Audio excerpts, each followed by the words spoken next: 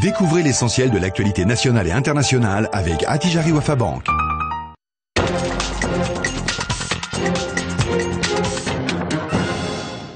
C'est une nouvelle qui se fête. Selon l'économiste, la 400 millième voiture est sortie hier du pôle industriel de Tanger animé par Renault.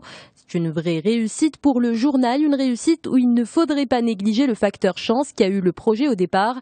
La filière automobile au Maroc pourrait passer à la vitesse supérieure au cas où une deuxième usine verrait le jour à Tanger. Ce sera bientôt une nécessité selon cet éditorial. Il souligne qu'en 2020, le marché mondial de la voiture particulière dépassera les 100 millions d'unités. Le Maroc est une destination très attractive au niveau régional en matière d'IDE. Quel est l'impact de ces flux d'investissements directs étrangers sur la vie des Marocains se demandent les échos.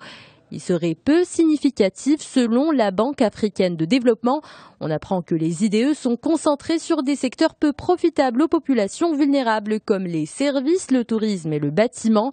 La Banque africaine recommande au Maroc d'orienter ses IDE vers les secteurs les plus productifs de l'économie comme le secteur manufacturier. Bonne nouvelle en une d'aujourd'hui, le Maroc, la résorption du chômage se confirme au premier trimestre 2015. À fin mars, la population active en chômage a baissé de 2,9% au niveau national.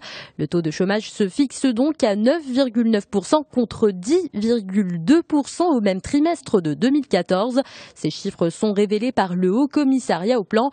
Selon le HCP, la proportion du chômage en milieu urbain se fixe à 14,3% alors qu'elle ne dépasse pas les 4,7% en milieu rural. Pour sa part, la nouvelle tribune parle d'un secteur dans la tourmente. Il s'agit de l'immobilier.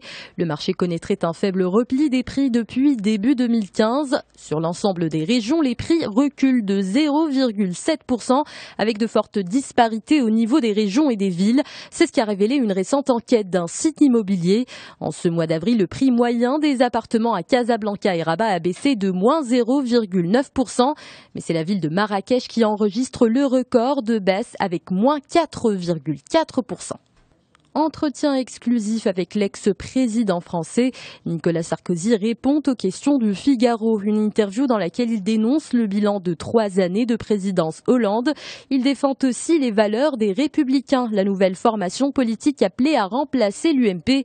Nicolas Sarkozy, qui n'a toujours pas officialisé sa candidature à la primaire à droite, annonce un projet présidentiel collectif pour juin 2016. L'Italie réitère ses appels à l'Union européenne, écrit Le Monde. Après un énième naufrage en Méditerranée, le pays exige une solution à la question migratoire. Aujourd'hui, le gouvernement italien se trouve en première ligne pour faire face à l'arrivée en grand nombre de personnes venues de Libye, de Syrie, d'Irak et d'Afrique subsaharienne, désireux de rejoindre l'Union européenne. Le journal revient en détail sur ce que prévoit l'opération Triton de surveillance et de sauvetage en mer. Une opération qui a vu son budget après un sommet européen organisé en avril. Jusqu'à présent, le mandat de Triton était d'opérer à l'intérieur des limites des 30 000 nautiques, commente le journal. Mais tous les appels au secours de migrants proviennent de zones éloignées, en moyenne d'une centaine de milles. La Commission européenne devrait présenter le 13 mai sa stratégie pour les migrations, nous apprend le monde. Elle devra prévoir des quotas obligatoires d'accueil des réfugiés, peut-on lire. Toujours pas d'accord à l'horizon, commentent les échos. La Grèce continue de semer le désordre sur les marchés financiers, écrit le quotidien français. Les divergences entre les créanciers, l'Union européenne et le Fonds monétaire international entravent les négociations, a dénoncé hier le gouvernement grec. Pour les marchés financiers, le scénario du pire pourrait être envisagé, à savoir une négociation qui s'éternise. Conséquence, les taux grecs se sont de nouveau envolés sur les marchés obligataires. Ils ont progressé de 63 points de base à plus de 10,77%.